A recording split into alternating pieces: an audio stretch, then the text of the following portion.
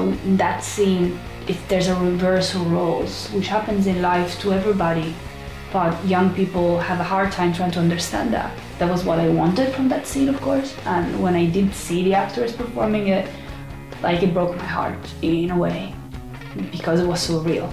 I've been there myself, I've seen that. Very small sort of scene, uh, but which was just very important as well to see the effect that Adrian has had on his mother. The, the child has been forced to look at the parent in a different way. Uh, we got tons of footage and we made Paula cry like so much. Like she, she was feeling terrible by the end. And Paula actually mentioned to me at the last shoot that her character basically cries in like every scene. Well, not, not in every scene, she does have some a scene where she's like proud and happy, which is grand. We got some contrast.